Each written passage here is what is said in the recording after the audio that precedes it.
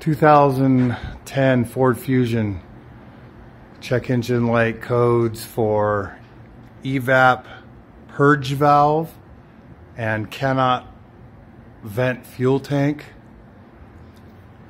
I removed the evap canister and purge valve assembly from the car and this dirt is all coming out of the inside of the purge valve and the can canister coming from inside. It's all plugged up with dirt. There's a service call for these when they get filled full of gasoline usually. This has to be replaced. Um, being full of dirt, obviously it needs to be replaced as well. There's a charcoal element inside of here that's going to be all plugged up with debris.